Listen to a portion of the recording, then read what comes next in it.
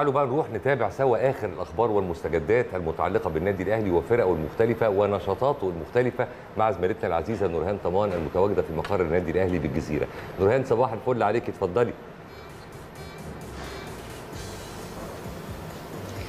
يا صباح الخير يا كريم صباح الخير يا نهاوند وصباح الخير على كل مشاهدي قناة النادي الأهلي في كل مكان.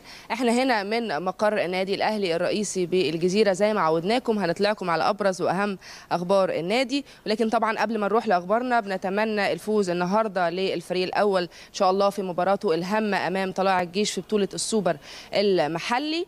ومعانا من أخبارنا عن الناشئين 2006 أهلي 2006 يفوز على عنيبة 8-0 وديا. فاز فريق النادي الأهلي مواليد 2006 على فريق عنيبة بثمان أهداف دون رد في المباراة اللي أقيمت على ملعب النادي الأهلي بفرع مدينة نصر مساء أمس وده طبعا ضمن الاستعدادات للموسم الكروي الجديد. أما بقى أهلي 2005 فتعادل وديا مع النجوم ويمكن في الشوط الثاني سجل أحمد فكري هدفين وتم إلغائهم بداعي التسلل. وأيضا كانت طبعا مواجهة ودية على ملعب نادي الأهلي بفرع مدينة نصر استعدادا للموسم الكروي الجديد. ونروح لأخبار الفرق الأخرى وقرعة تنس الطاولة للرجال. تم إعلان أو أعلن الاتحاد المصري عن قرعة آه تنس الطاولة للرجال وأسفرت قرعة مباريات الدوري لفرق الرجال عن وجود تنس آه طاولة النادي الأهلي ضمن المجموعة الأولى مع أندية طنطا والحوار والعاب ودمنهور وأسوان ومسيحية القاهرة.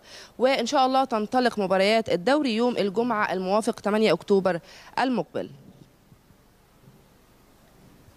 أما بقى على صعيد كرة اليد برنامج علاجي طبيعي مكثف لكاستيلو.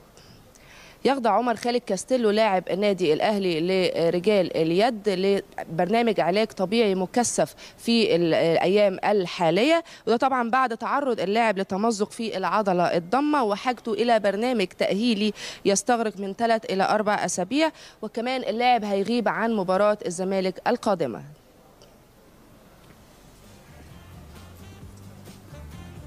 وفي البطولة العربية للسلة أسفرت القرعة اللي طبعا بيتواجد فيها النادي الأهلي عن وقوعه ضمن المجموعة الثالثة في البطولة. نادي الاتحاد السكندري بيستضيف البطولة اللي هتبدأ من يوم 29 سبتمبر الجاري وحتى 9 أكتوبر المقبل.